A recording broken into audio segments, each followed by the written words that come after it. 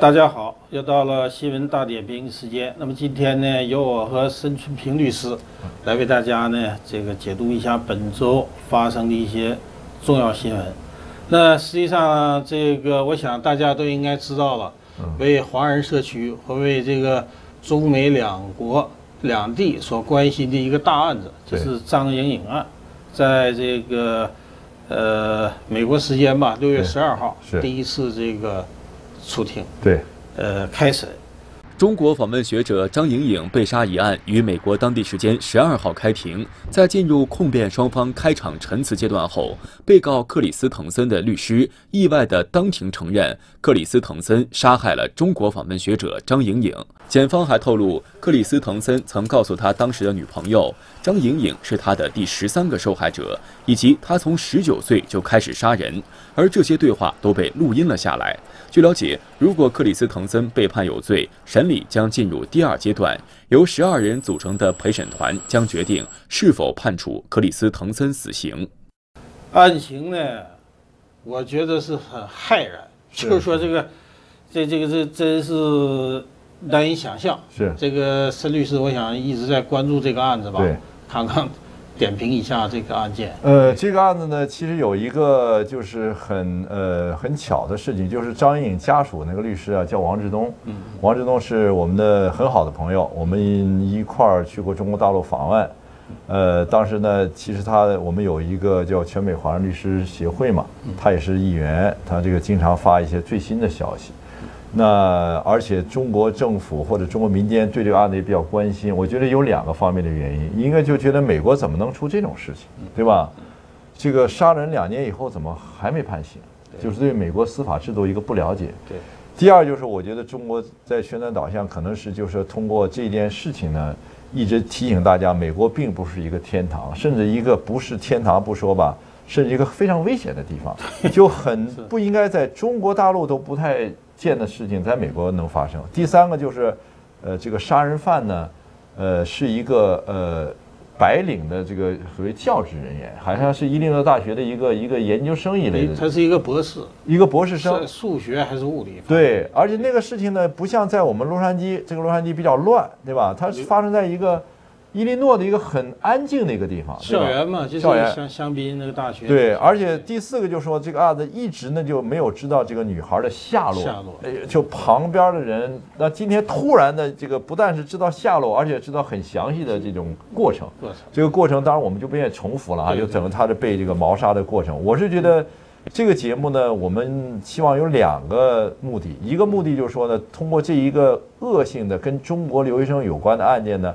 提醒中国留学生在美国要加防范类似这种事情再发生。对。第二个就是说呢，呃，为在美国的华人和中国大陆的朋友提供一下美国这个司法制度的一些特点和一些弊病，对吧？对。就一个没有，因为美国有一个说法，这个叫 a justice a justice delay is justice denied，就是说呢，正义来的迟就正义被拒绝，对吧？简单是这么翻的。呃，这是一个长话。那你看张颖这个作为一个呃年轻貌美、天真无邪这么小女孩啊，呃就没了。那这个杀人犯呢，这么两年以后，不断的提出一些他的一些权利，找律师的权利、不说话的权利、看医生的权利，对吧？就这些东西呢，在我们一般的人呃匪夷所思，对吧？呃，我常常说，维持就是不上过美国 law school 呢，你不知道这个事儿。我们就想到穆勒当时有一个讲法，就我们上次讲的美国检察官，他这个人嫉恶如仇，对吧？他说做了两天这个刑事辩护律师，他做不下去了，他坐了一半，听他你应该被监狱啊，你也被抓住。说美国也有一批呢，就是说 对律师的指控，为什么律师知道他有罪还麻烦的说他无罪，替他无罪辩护，对不对？这也是说第三个我们要谈的美国的一些这个刑事辩护制度，我们可能从这三点谈一谈吧。对对对。是这样，这个我们都知道，这个在中国大陆，嗯，这个如果是一个杀人犯，对，那最后呢，我们经常呃经常看到是这样的画面，对，嫌犯呢得到杀人现场去指认去，对，啊，比如这个是作案现场，对，然后这个是埋尸地点，对，然后警察照相，对，这是作为一个虽然他都交代了，是是，但是一定要这个步骤，是。那现在这个张莹颖案第一次开庭审，那么律师呢？就把整个作案的细节嗯，全盘托出。对，但实际上在这种情况下呢，检方也好，或者美国的警方也好，仍然没有这个，就好像没有交代藏尸之处，对，对吧？现在没有。那这个从这个呃，就是说从这这这这个嫌犯这这这这个这一个辩护策略吧，嗯，他是不是？我觉得是不是要降？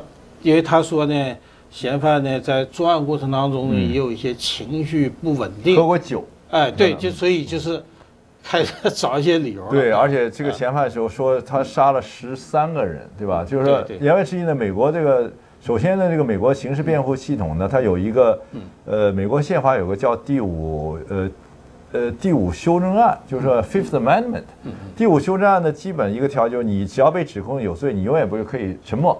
对。那他这个人呢，不但不沉默，把整个这个细节和盘托出，对。其实我有一个想法，就是说可能这个辩方啊，就是这个嫌犯的这个律师啊，想做一种呢叫 insanity defense，就是他在杀人的时候他是神志不清醒的，后来回忆起来了。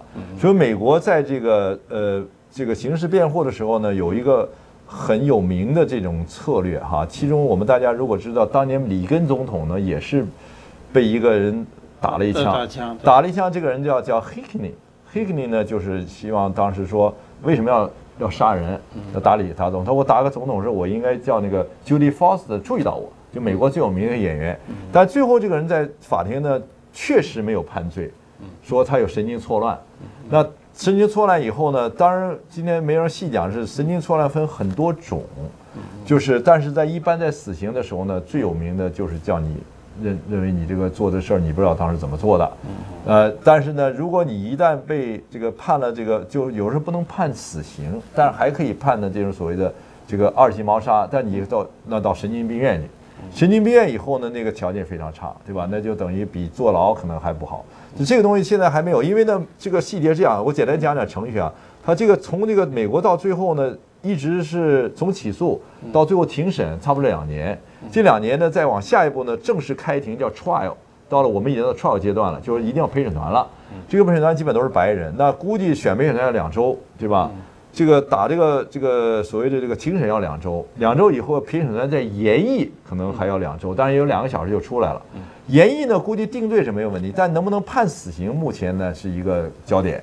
因为什么呢？因为伊利诺州本身是没有死刑的，但是正因为呢，检察官认为这个案子比较恶劣，到联邦法庭去判了，所以这个有点，因为联邦法庭大家实际上呢有点抽象。实际美国的联邦法庭也是在伊利诺州，但是它不是属于伊利诺州那个法庭和法律控制控管，因为美国的联邦法庭呢有十二个非这个呃区。，这地区对，哎，他的这个就是说联邦法庭有有有死刑的，所以为什么就在联邦法庭叫 United States versus 呃这个叫 Christie 那个男的，所以说呢，他这个形式就是这样的。那美国这个还有个很很麻烦的事儿，就定罪呢是十二个陪审团一定要说有罪，对，也有可能将来定一个没罪。这个东西大家要要想好啊，不一定就是说就就就一定是有罪，或者有罪以后呢没有死刑。所以这案子以后呢，按照我们往下走的话呢，会有很多变数出来，对对吧？嗯。就是说在陪审团当中呢，有一个人不同意死刑，这个案子就就 mistrial 叫对流审，呃流审，哎，就是户刑的，你就你就这个也可能要重审对这个事情。现在这样，就是我们观察这个，包括很多这个，我们也是议论这个案子，嗯就是说嗯，有的时候美国呢，这个这个这个杀人案哈，嗯。这个受害者没了，被杀了，对，那么最后呢，受害者呢，可能这个新闻作案凶，手，他他成为一个焦点，对，关注，对可能说啊，这这凶手怎么怎么样，长得也不错，看着哎对对挺好的，挺可怜的。但。是受害者呢，就就就没人想，这这种是到底儿是一个文化层面不同的东西呢，还是说在美国的司法制度上哈，就是 就很多说美国司法制度是保护这个这这这这个恶人，美国的嗯。这个是一个媒体曝光的时代。对吧？你要承认这个事儿，你还记得我们就我就想起来那波士顿那个马拉松那个事件嘛？啊对对那两个兄弟俩拿的那个呃呃叫那个钢高锅高高压锅高压锅炸弹，对 炸完以后呢，这个死了有三个中国人也炸死了，好像当时对有对哎有波士顿大学一个女生，大家永远记不住死者的这个受害人的，哎，最后这个曝光的时候，这两人一看呢，第二年长得不错，很多女孩给他写信，说这个呢，我是觉得美国一个舆论导向的问题。在我来讲，我觉得我们这一代人呢，觉得。在咱们中国文化的传统是华人文化，就是你这个以眼还牙，以牙以牙还牙，以眼还眼，这是一个也是基督教这么一个一个一个说法。对。但现在呢，美国有一种这个过了，我觉得人权那种说是这个让他一些有些悔改啊，让他不就是这个呃这个取消死刑。那这点呢，美国呢跟堕胎一样，一半人赞成死刑，一半人不赞成死刑，这也是一个焦点。但是我呢想引申出第二个问题，就是说为什么这种事情呢，在美国？能发生，而且怎么避免这个事儿？咱们可以，我我个人认为哈，我我有给大家用一个最简单的一个，我从刑事辩护律师角度来讲呢，我有一次在这个法庭拿了一个小册子，在洛杉矶，那小册子是一般的那个，就就告你呢，如果怎么这个女孩怎么防范被人家侵害，呃，这跟大家简单提一下，我就利用一切就说是，就一般来讲，你只要两个人在一块儿就没事儿，就是说只要女孩在半夜深更的时候，只要两个女孩在一块儿走路有一个伴儿。一般来讲，很少能被人家强暴强奸，为什么呢？这两个人呢，互相呢有一个撞胆儿，另外呢，他会叫，对吧？你不管来了五个男的、三个男的，只要两个在一块儿，他就不太容易把你们俩同时抓走。对，一个人经常被一个人劫持，为什么呢？一个人有时候我们知道有一个一一个人拿一把刀、一把枪一对着你，这女孩就就愣了。所以你看他，当然这个有一个他做了个假警察，他说的他被劫持公寓里边，那我就觉得如果是两个人，那不可能发生的，对吧？所以在这一点，大家呢，如果作为作为女女孩，第一呢，就是说要小心。只是我只是小心多了，我就是因为这美国警察提供的这么一个 tips，就是说两个人在一块儿，不管晚上多晚，只要两个女孩在一块儿，你这个被侵害的、被伤害的几率就下降很多。嗯，哎，那现在这样，大家都刚才谈到了关注这个死刑的问题。对。那张莹颖这个案子在什么条件下可以移交到这个联邦法院？因为现在是在。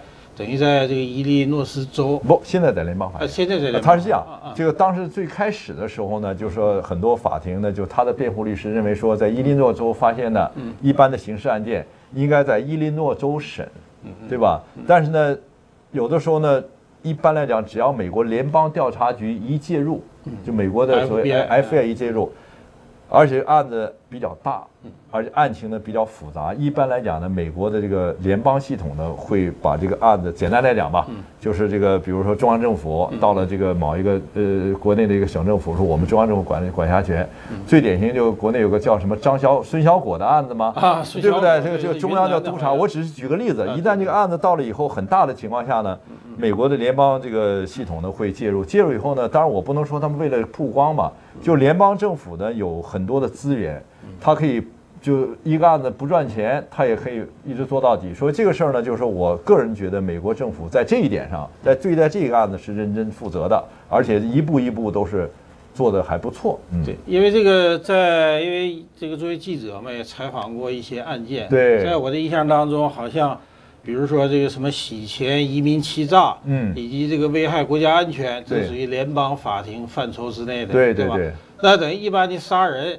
像这个什么强奸、偷窃，这属于这个州法院是是是是是。但这个案子最开始的时候呢，好像这个当时我记得这个是伊利诺斯大学的警方对来负责这个案子。是伊利诺斯这个包括这香槟地区的警警力还没参与。对，所以他这个这个案子呢。那当然，开始没有是杀人案，是失踪啊，失踪案，对，就是开始失踪案，对吧？对，他是这么一个怎么解释？就是联邦政府呢，现在就是说想把它变成联邦的很容易，用手机就可以了，你只要有手机就叫 interstate commerce。就是你因为手机那是五十个州都可以用，你只要有手机介入，他想他想拿来，有手机介入，加上有一些外国因素的介入，他是中国留学生嘛，留学生，呃，他就是他联邦政府立案很容易，但是我知道很多联邦政府可能不愿意立案，对吧？呃，我我个人感觉，如果伊利诺这个呃芝加哥地区南部出现这么事儿，可能他就不管心，因为南部老是杀人放火的，对吧？对对。你看，又是在伊利诺校园里边，又是一个呃，伊利诺大学在芝加哥应该排第三，除了芝加哥大学、西北大学，就伊利诺了嘛。而且那个校区香槟大学是中国留学生在美国最多的学校，对，有几千人吧？有几几万几呃几万哦。对，就是反正我印象当，原来我一直认为。南加大是这个中国留学生最多的，实际上是香槟大学。我去年有个伊利诺大学法学院毕业的一个同学来过，呃，这叫小小费，是上海这个一个学法学的，在我做了半年做实习嘛，他从伊利诺来的。哎，我跟他说呀，他说这个事情，他说这个也要小心。他说有的时候呢，就是人呢就不小心，因为没有想到这个事情，就反而我觉得在纽约、洛杉矶、什么芝加哥这种比较乱的地方呢中国留学生都比较小心。那些地方就跟田园风光，一样我是从中部来的，我在艾沃来，就是有个也也我们也出过一个事情，卢刚那个事情。哦，卢刚。对，就是卢刚九一年杀了五个美国大学教授，那时候我还在那个地方，我就想着这两个事儿就是挺奇怪，就是一个很独立的，也是艾沃也是地方没有那种恶性案件，对吧？我我个人感觉那个有的时候呢，就是美国这个文化里边呢是有这么一个文化，大家看着都很好，但是呢内心想什么你不知道，特别是白人，OK。特别是白人一看的都挺斯斯文文，一张举着，哎，抹着香水儿，对吧？但实际他内心想的很邪恶的东西。这个案子确实呢是给我们上了深深的一课，对吧？嗯。呃，那我们只能是继续观察了。对，反正刚刚开始嘛。对，反正希望他这个被这个严惩。对，我觉得这个中国政府或者有关部门最近提出哈，嗯，这个有关中国公民到美国注意安全，确实我觉得是非常必要。就是说。有的时候呢，可能这个因为现在媒体资讯发达嘛，有很多人呢把美国想象的哈，好像就是，但实际上呢，就是说，呃，犯罪在任何国家、各种社会，它是无处不存在的。因为因为这人性这东西，它是邪恶的本性，它一旦这个这个邪念上来以后，对。对吧？你就没有办法来那什么？对。另外，现在旅游旺季了嘛？大家知道，我们知道，这美国今年差一点，因为这个川普这个政策，往年在这旅游团到了这都是好的照相机。一般来讲呢，嗯，特别是拿的包名牌包，对，加上里边都是现金，对不对？护照，我们在洛杉矶这种事情最多，每年几乎都会碰到，对吧？就是说吃饭的时候啊，你在那一一转身不见了，那个这什么都没了，所以大家特别要小心。现在旅游的时候，把那个包啊都看好。这个东西就就每年都会出现，对吧？加上还有的时候呢，小孩来的也比较多，小朋友。对。所以洛杉矶呢，其实也还有一个事儿，有个性侵的一个，也是洛杉矶发生的嘛，一个中学在威斯考维纳，在威斯考维纳，他了猥亵，等于等于猥亵，对。那他就也伤害了，可能但没有什么程度，可能没有。就是说言外之意呢，就中国和中美之间人员交流的多呢，实际这种事情呢，就恶性事件，除了撞车以外，这种恶性事件大家也特别要小心，要意识到这个东西。嗯，对。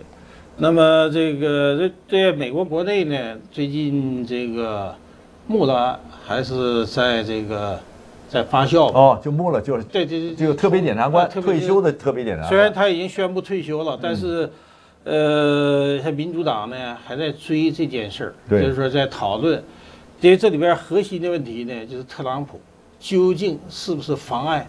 司法对，这是一个核心的，就目目所谓通关门调查，对对对，一个核心的问题。对，那这个事儿呢，反正就是因为这个特朗普最近呢也是在欧洲嘛，参加这个诺曼底这个登陆纪念七十五周年，七十五周纪念，哎，然后又到好像到波兰到哪儿去去去，对对对，对访问。所以呢，这个，那么就是我们关心呢，那除了这个美国内部的这个这这这这这个这个就是说这个。关于特朗普的一些这个情况以外，嗯，那么再一个呢，就是说这个他的这个大选，大选的话，这个拜登的这个民调哈，应该是昨天，这说这个六月等于六月十二号吧，一个民调出来了，对，那么拜登呢是远远大幅度领先这个特朗普，对，那虽然这个。距离美国大选呢，二零二零年当然还有十七个月的时间。嗯嗯。这种大幅度的这个民调呢，当然不一定能保持到那个时候。嗯。但最起码说明一个问题，就是说特朗普的民调下降了。嗯。那下降的原因呢？我想除了通俄门以外，我想应该和这个所谓的中美贸易战。嗯。有关，因为中美贸易战最后到现在，嗯，弄的是这个整个全世界都是人心惶惶。对对对对。这个于是是你讲的，因为您是做媒体的资深媒体人啊，大哥讲的非常好哈，大哥就把它讲了好几个问题，我这逐一呃，我我的一点个人看法哈。第一呢，关于这个川川普这个呃 Mueller report，也就关键就他会不会被 impeached，会不会弹劾，对吧？这个是一个目前来讲大家争论不休的问题，就是说呢，到底民主党能不能启动弹劾程序？但是弹劾不成的原因是美国需要一个。呃，两党的多数，那在共和党呢，在在参议院呢，肯定是不可以的，哎，而且要三分之二。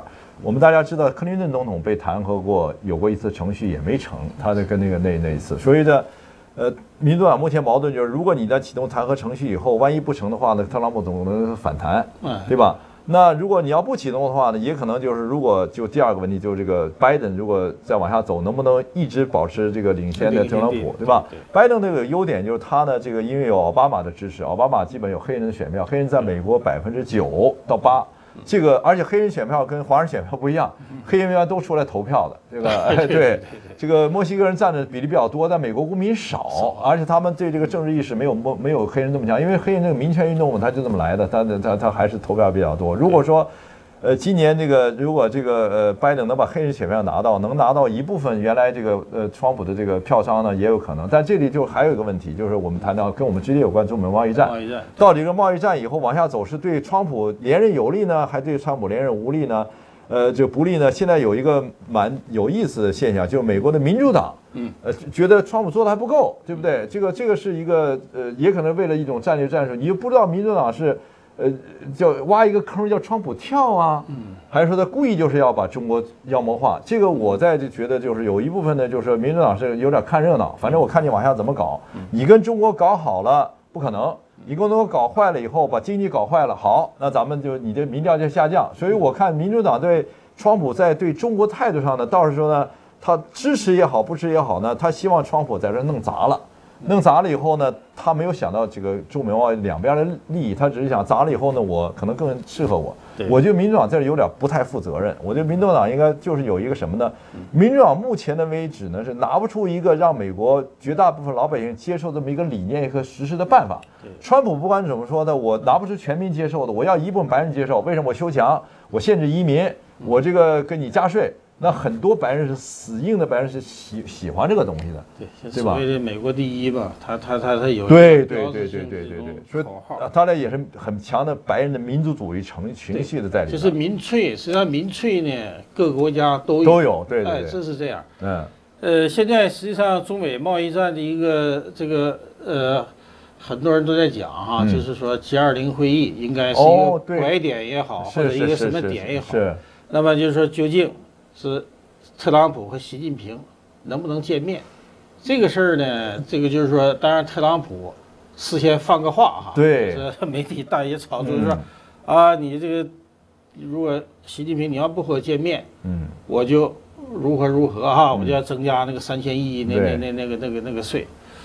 所以我是这样看哈，这个事儿呢，就是说这个 G 二零会议，嗯，这个是一个这个世界各国首脑。这个这个，习主席在当时没有没参加过的，哎对，呃就没有说我不参加，对不对？我，嗯，这是肯定参加。既然参加了呢，作为一个大国领袖，嗯，也不能那么小家子气。对，我想呢，见面呢是一定的。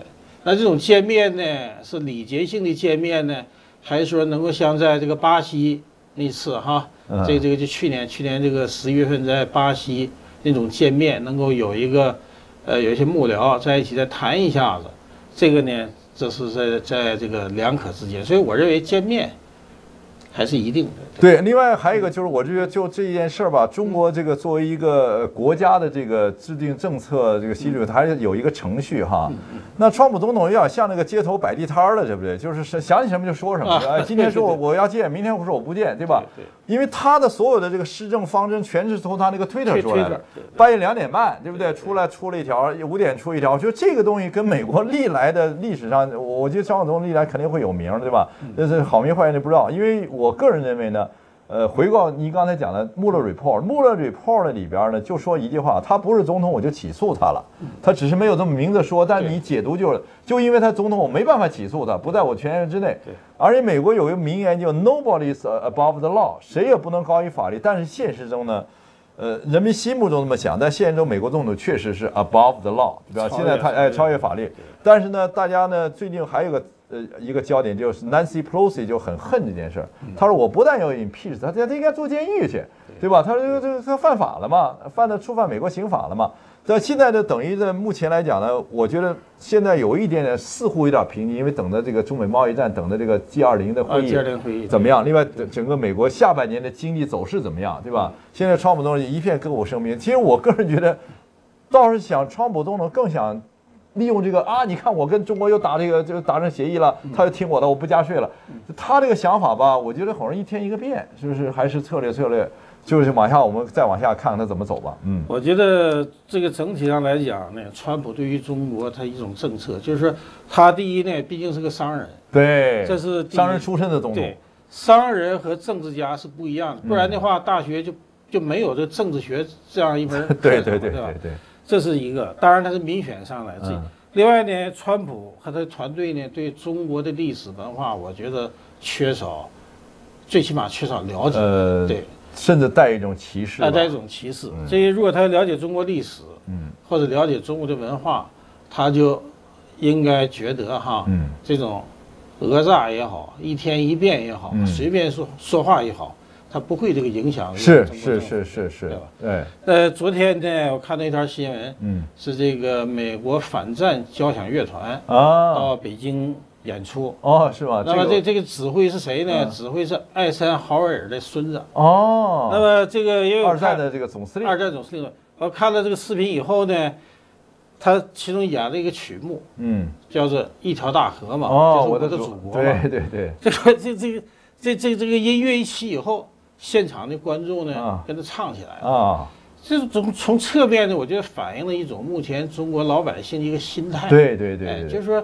老百姓呢对中美贸易战，或者对你美国对于中国这种这个打压也好，嗯。或者这个强权也好，嗯。那老百姓他不怕，而且他反感，他还保持那样一种反美帝的这样一种另外，你也侧面看了美国大部分人呢，这个是很呃很从一个客观角度会正视这段历史，而且呢就这个和平的取消嘛，对不对？对？所以这个事儿倒是这个事儿我回去再看一看，挺有意思。对这这就是反映一种中国民间的情绪。嗯呃，所以呢，这个中美贸易战，这个我们还是要非常要关注的。另外就是这个张莹莹案，希望我也希望这个这个大家，特别是大陆的朋友哈，这个通过这个案子呢，应该是确实应该是提高自自身的一种到美国来以后一一种自身的防范意识。对对对，一定要注意，就特别是在准备到美国来读书的年轻的小朋友，特别是女孩，特别要通过这个案子吸取一个教训吧，或者吸取一个知道美国并不是一个一个就是要要还是要防范一些意外的事件吧。嗯，好，那今天的节目呢就到这儿好啊，谢谢观众。谢谢各位观众。